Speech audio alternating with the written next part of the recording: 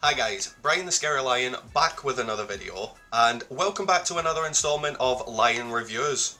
Now today we're going to be talking about the show Afterlife, which is currently on Netflix. It's an absolutely brilliant show, uh, so before I get into what I actually think about it, let's talk about a little bit of the information behind it.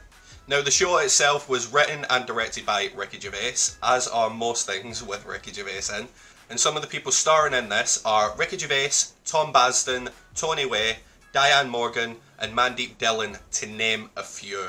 Now, the show itself is about a man named Tony whose wife has passed away and he is now suffering with deep, deep depression. He's having suicidal thoughts, and the only thing that's keeping him from committing suicide, and uh, I absolutely love this reason, is because he needs to feed the dog. If he's not there, who feeds the dog? I, I do love that. It's the whole mundane side of it that if I'm not here, who's going to feed my dog? It's the little things that keep him there. I, I I love that. But uh, because he's not acting on these suicidal thoughts, he is using this time that he's alive to do what he wants and say what he wants to anybody. With the whole fallback that, well, I can always kill myself if it doesn't work out. It's one of them, it's so dark yet it's so funny at the same time. Like, I could do what I want, and if it doesn't work out, fuck it, I'm gone anyway. This show uh, does have a lot of the whole dark comedy, uh, and for me, I'm personally a lover of dark comedy. I, I feel like if we can joke about stuff, then we can joke about absolutely anything, because the fact of the matter is, if we joke about something that's so sad and actually everything just feels doom and gloom, it may actually lift someone up. Someone who's gone through any of these situations may actually just be uplifted at least slightly, seeing a bit of a funny joke side of it.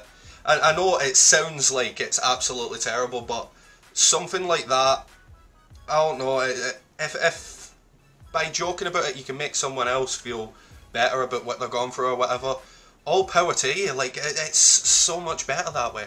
One of the other things that I absolutely love is the progression through this. Um, throughout the whole series, you start you see other people going through like these situations. It's no like massively there throughout the whole lot, but there's like these little bits that just show other people going through big things for them.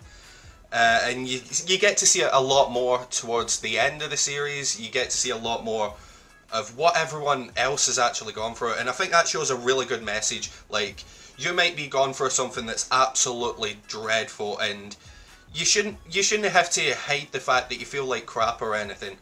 But this, the other thing that you've got to take into account is even though you're going through stuff, everybody else has gone through stuff as well.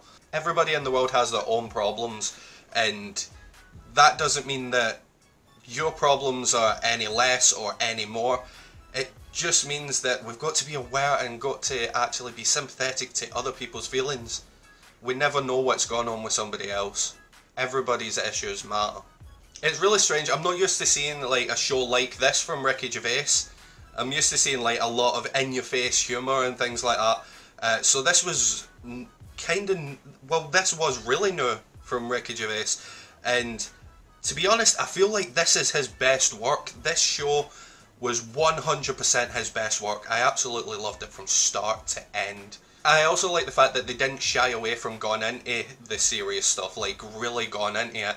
A lot of shows might like try to avoid certain ways of doing stuff. This actually went really into his depression and what it was doing to him, what it was doing to his head. And not a lot of shows can actually capture it. So bravo on this, you did really, really well on capturing everything here. Also did show a big side that not everyone really gets to see, and it's the people around that are trying to help. These are the ones that stick around even when the person's like completely, everybody else would write them off. There are people in this that actually show that even when somebody is beyond saving, they will still try, they will still keep pushing and pushing and pushing and pushing.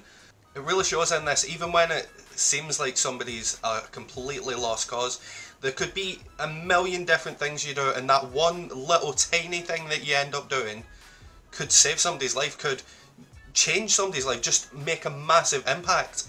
I love the seriousness in this, and I love all of the different things that it picked up on, all of the different things it tried to capture. I, uh, 100%, I absolutely loved this. Now, from what I've read up after watching it, the I've seen one or two things saying possible season two and things like that. I disagree with this. Uh, for me, it it should be one and done.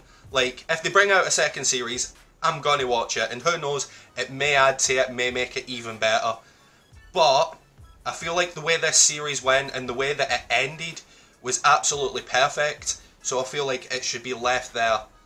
Uh, it's comedy genius, drama genius, it's literally just a masterpiece of a show, so I feel like picking it up for a second season might not be the best idea. I could be proven wrong, but that's my feelings at the moment. Now the rating that I'm actually going to give this show is Ricky's best. Literally, I feel like this is the best work he has ever done, and I, I like so much of Ricky Gervais's work. I love The Office, I love Derek, I love The Invention of Lying, I loved uh, An Idiot Abroad. Like, all of these things from Ricky Gervais's mind, they're all fucking brilliant, but I stick by my guns 100%. This is his best work by far. If this show has taught me anything, really it's to enjoy each day of life because you never know what's going to happen. So just enjoy life. E even though, right, most of life's shit, we all know that. We all know that most of life is absolute fucking trash.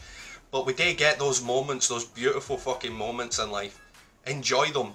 Honestly, just embrace those tiny little moments that and remember them, keep them with you forever.